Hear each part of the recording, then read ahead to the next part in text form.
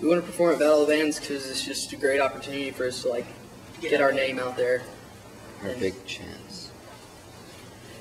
Anyway, to get our name out there, and we know it's for a good cause. So I mean, we're Yeah. in full support of that.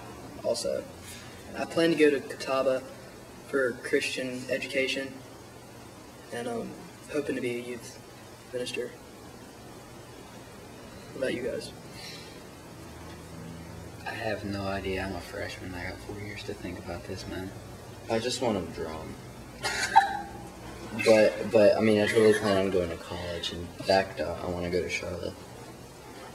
And I want to do something with church and maybe a youth minister like Trevor, but maybe something a little different. And I don't really have a college anymore. I haven't looked into it yet. The exposure is good exposure. I mean, just getting our name out there. I mean, the places that we play at, we don't always make a big profit, but I mean, when we leave, people know who we are. Yeah, and Most people like us. yeah, most of the time we never get bad comments about how we played. so- I'm like the mystery man though. I'm never known. That's okay. I just Dude, I that just was your first show on just as long as I get to drum. that was the first show you ever. No, but nobody played knows me anyway. That one kid said you were a good drummer, and I'll be quiet. Little man. That's little man.